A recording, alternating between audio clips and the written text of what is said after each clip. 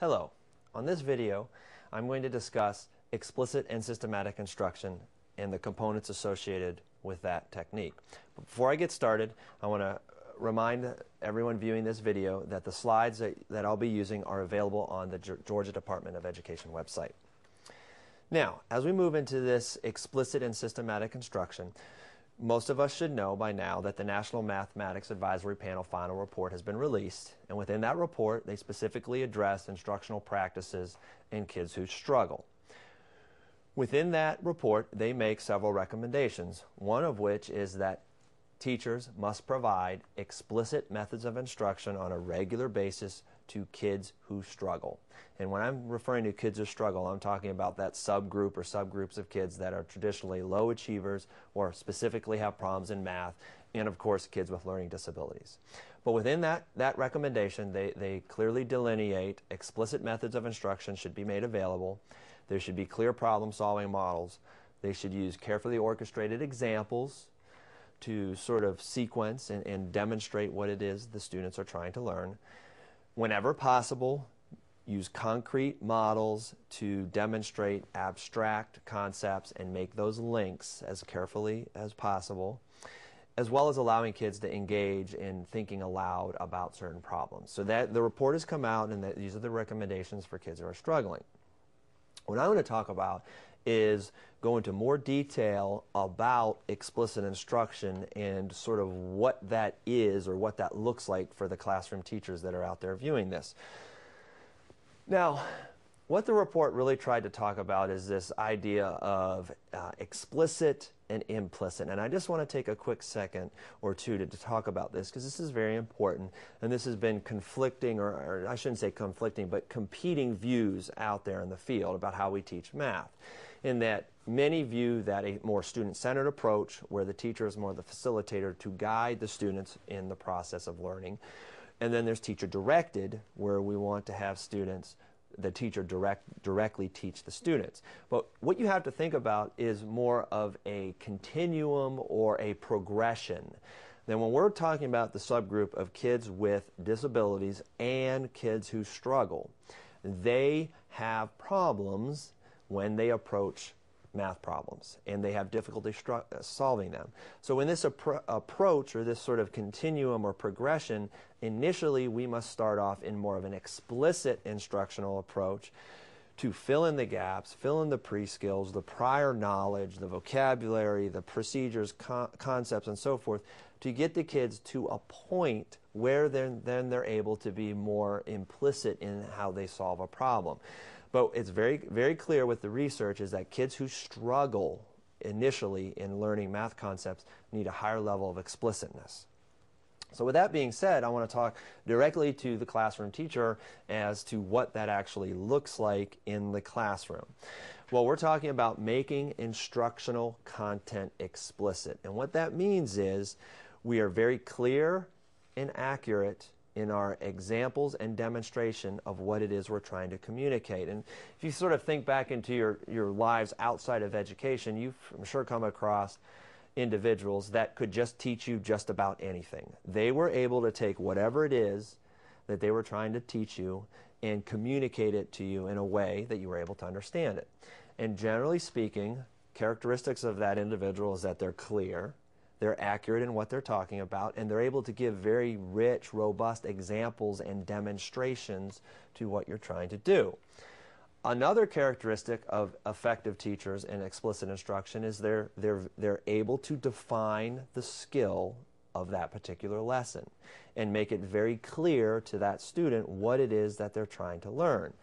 And then finally, what is really an important aspect of explicit instruction is the ability to present it or teach it in small steps. We have to remember, kids with learning disabilities and kids who are struggling, that they, they are having problems in math. And it is advantageous or effective to break it down into smaller steps in the initial instruction and then eventually build it and put it back together in the end. So within explicit instruction, and, and you'll be able to see from the slides, there are six components. Now, the slides provide a great deal of information that you can take a look at. I'm sort of going to highlight the, the major points of each of these slides, but there's six critical features with uh, involved with ex explicit instruction, which what you'll see goes far beyond teacher lecture. And this is something I want to make very clear. Explicit instruction is not a teacher lecturing. It involves much more than just teacher lecture. But within these six characteristics, I'm going to go over and highlight the important components of each one of these, and you have the slides to reference uh, for more detail. But within this, what's very important is this aspect of a daily review. And uh, effective math teachers will start off with a daily review for a couple of reasons. Number one, it is a good way to activate prior knowledge, or in some cases, fill in that prior knowledge that the kids don't have. This can be done through various techniques, homework, um, connecting previously learning things.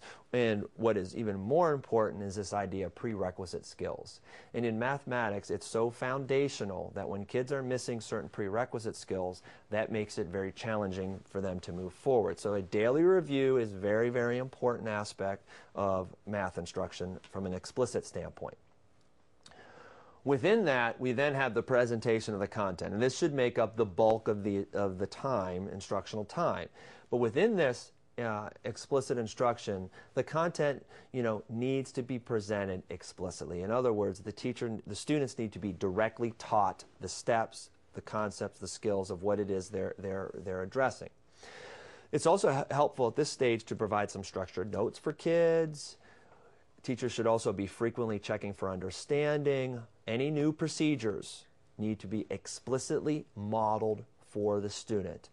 And another highlight, which I'll talk in another video, is the idea of using very clear and consistent, mathematically appropriate language. And that's something that is very, very important that kids are able to get the language involved with this. Next is guided practice. And this is something that's very, very important is that, that students are not just practicing independently. And if you rush kids to this idea of practicing independently, often what happens is they're practicing it wrong. And when they practice it wrong, they're learning it wrong, and that's going to be more of a challenge.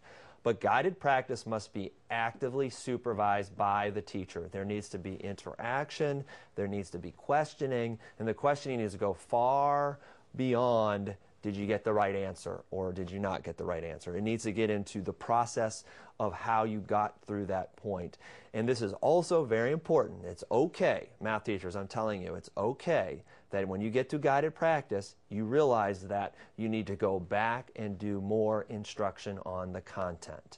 And this is the prime area to see this. If you see multiple students uh, struggling, this is a time where maybe you pull them aside, you do some small group instruction that often some is referred to as differentiated instruction, but this is a time where you need to try to sort of catch the kids before they get in and, and it becomes a pattern of learning something incorrectly. Next is this idea of feedback and correctives. We've known for quite some time that, that corrective feedback is critical. And within the area of math, we must understand that making errors uh, is okay. It's part of the learning process. But what the teacher must recognize is that those errors must not go uncorrected. It is once kids make a mistake, allowing them to try to figure it out, and what happens is they end up guessing. And when they're guessing, that's defeating the whole purpose. So when errors occur, there should be immediate correction provided to the students. And of course, this has implications for homework. If kids are doing 10 or 15 problems with absolutely no feedback and they could be doing it wrong, then they're learning it wrong. So they need to, with explicit instruction, there's a high level of feedback and correctives provided. Now, when you get to the independent practice, this is often deemed as, eh, for, for, for math teachers, as homework. And math teachers we need to take a look very carefully at our homework practices and how we do independent practice. Kids should not get into independent practice until they are performing at a high level of accuracy. And that independent practice really is a way to build proficiency versus learning accuracy and content. So be very careful about how much homework you assign and that your independent problems that kids are given require little additional instruction. Many kids are not going to be able to get help outside of school in relationship to math. So it's very important that independent practice is focused, it's very clear, and it's addressing the, the, the skill or the concept that you want the students to become proficient with. The last area is something that is very, very important in the area of math, and this is sort of weekly and monthly reviews. And, you know, I sort of like to use this example that if I were to put up a calculus problem on the board right now, there's three things that I can guarantee all of you watching this at home. Number one, at some point, someone taught me how to do that calculus problem. At some point, I was able to do that calculus problem. But right now, I could not do that calculus problem. And it's not because I haven't learned it or it's sort of mysteriously vanished. It's because I haven't done it in, in any long period of time. And that you must revisit through weekly and monthly reviews very important big ideas. Now, this is where the, the content knowledge and the expertise of the teacher must come into play in the sense that you can't review everything because you'll never get to teaching new things. So there's certain things in math that are much more important than others that need to be reviewed on a consistent basis. These reviews should be distributed. They should not be 30 problems on a worksheet. And the last thing I want to point out, as you can see that last bullet here, is that oftentimes they need to be partnered with instruction. And practice isn't going to teach a child. Instruction must sometimes be partnered with these reviews. So that being said, there were six characteristics or components of effective instru explicit instruction. Some considerations that take into place. This idea of providing explicit instruction could be or is oftentimes new to some teachers. We're not used to doing that approach. And anytime you're not used to doing something, it becomes a little uncomfortable. So you need to have some, you know, plan in some planning, some professional development along these lines. Again, the National Mathematics Advisory Panel ha has made recommendations that we need to provide explicit instruction to these low achieving kids on a regular basis. So that sort of concludes this on explicit instruction. The slides are available on the Georgia Department of Education website. We'll go into a little bit more detail, and uh, they'll be available for you to download.